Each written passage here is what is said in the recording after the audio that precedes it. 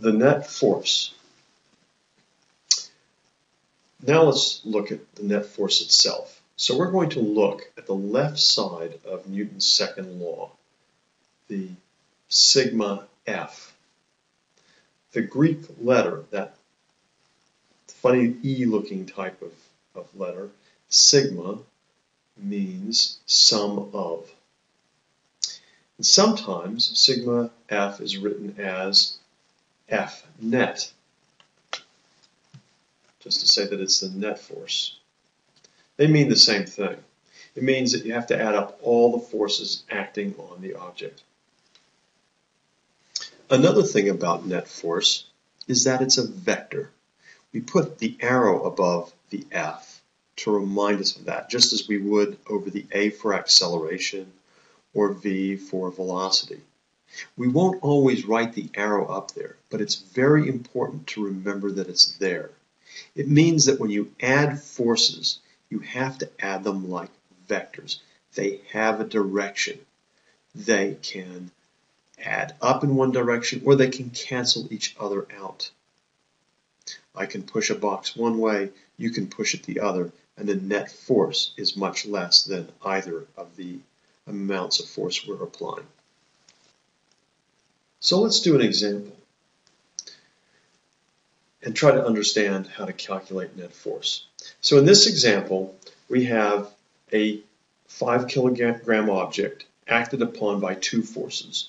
One, which is 20 newtons, which is acting to the right, and another one, which is 30 newtons, acting also to the right.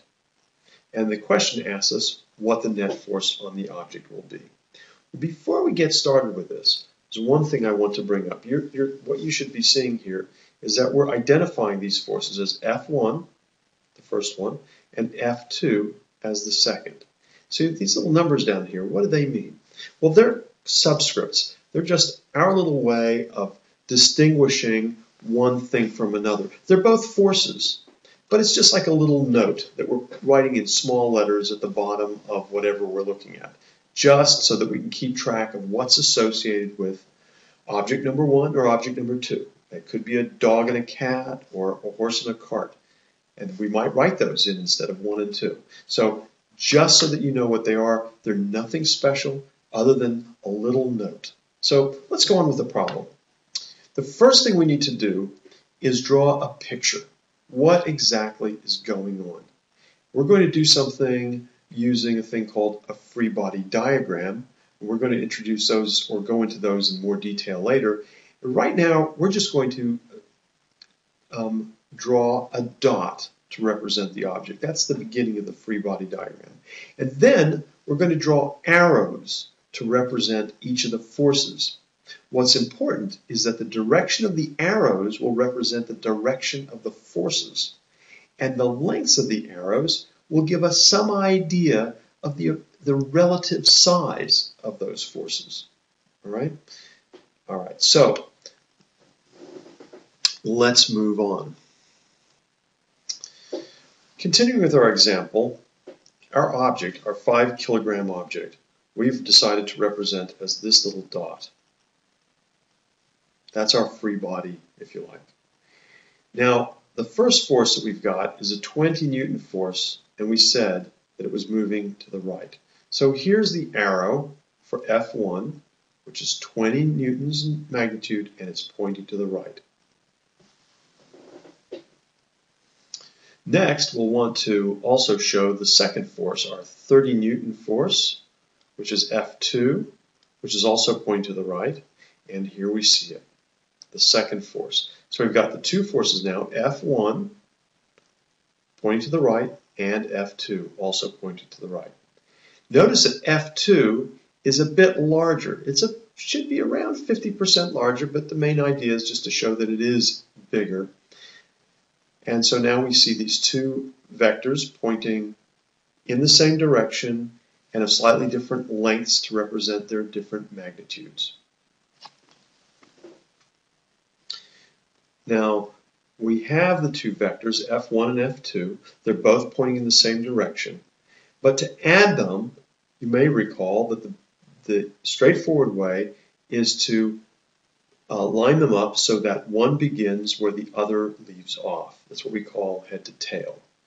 So what we've done here is we've taken F2 and we've stuck it on the end of F1 and now the entire length of, the, of these two vectors, these two forces, F1 and F2, shows us this, the sum. And now we can use that to calculate our length. Once we've put F1 and F2 head to tail, we can uh, add them together. The total length of the two vectors combined is now the net force vector. Force 1 plus force 2 is the net force. Now that we've got that, we can look at it from an algebraic perspective. So to do our addition of force 1 and force 2, we're going to define right as positive. So if we do that, we can interpret our diagram. So the net force is, is the sum of the two, i.e. force 1 plus force 2. Both of them are positive, both of them are pointing to the right, and they are 20 newtons and 30 newtons respectively. So when we add them, we'll get 50 newtons, and it's pointing to the right. Let's do an example. Um, this one is number 19 in your notebook. Two forces act on an object. One force is 40 newtons to the west. 40 newtons to the west. And the other force is 40 newtons to the east. What is the net force acting on the object? Well, let's look at these we have force 1, and we know that force 1 is 40 newtons, and we know that force 2 is also 40 newtons in magnitude. But the first one is pointing west, and the second one is pointing east.